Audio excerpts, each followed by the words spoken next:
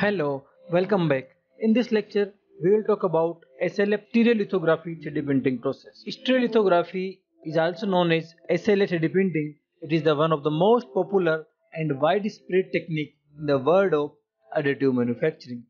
It works by using a high-powered laser to harden liquid resin that is contained in a reservoir to create the desired 3D shape. So we will basically we will use a laser, liquid resin. When this laser will comes contact with the liquid resin, liquid resin will convert into a solid and uh, the process will be repeated and layer by layer your product will be made. In a nutshell, the process convert photosensitive liquid into 3D solid plastics in a layer by layer fashion using a laser and photopolymerization. SLA is the one of the three primary technologies adopted in 3D printing.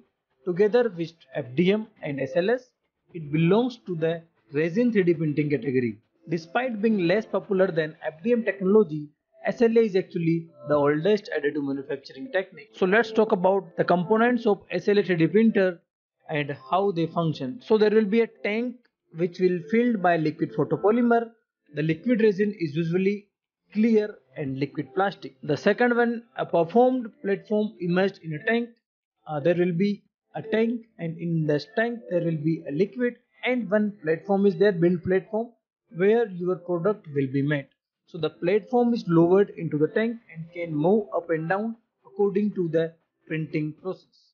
A high powered ultraviolet laser. There will be a laser and a computer interface which manages both the platforms So there will be a computer interface which will manage the movement of your uh, platform and laser as well. So let's talk about the working of SLA, like how SLA 3D printer works. So when the process starts, the laser draws the first layer of the print into the photosensitive resin.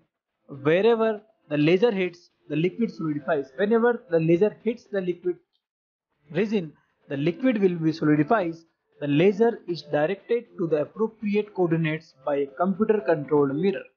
At this point, it's worth mentioning that most desktop SLA printers work upside down. That is, the laser is pointed up to the build platform which start low and incrementally raised. After finishing the material polymerization, the platform rises out of the tank and the excess resin is drained. At the end of the process, the made model is removed from the platform, washed off excess resin and then placed in a UV oven or final curing. Here in this diagram you can see the how this actually process works. So there will be uh, data for 3D CAD, you will design your CAD model, then you convert it into STL file format, then, then you will slice it and convert it into G codes. These G codes will instruct laser about the coordinates where laser has to go and this is your uh, uh, green color is your platform the dash dash is your liquid resin and this is your layer. So once your laser will hit to the this liquid resin your uh, this liquid resin will convert into a solid and your model your first layer will be created. Once first layer is completely created this build platform will go downside and the, uh, the another layer will be created on here in this second diagram. You can see and this process will be repeated and your model will be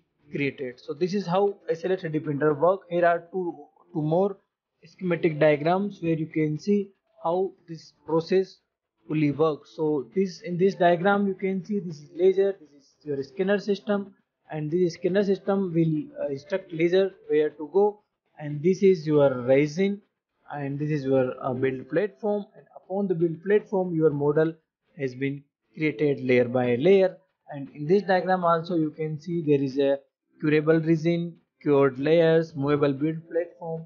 So the process is very easy. We are using laser to solidify the liquid resin.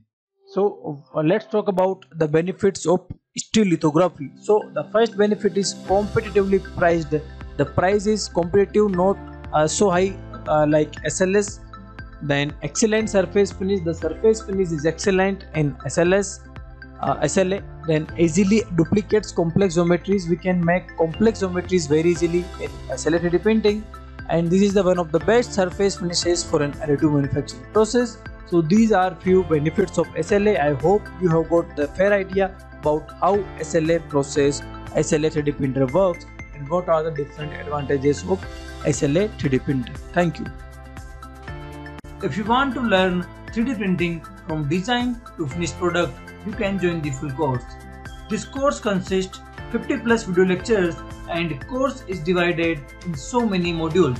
You can check the detailed information in description box. In this course, along with video lectures, you will get quizzes, assignments and notes.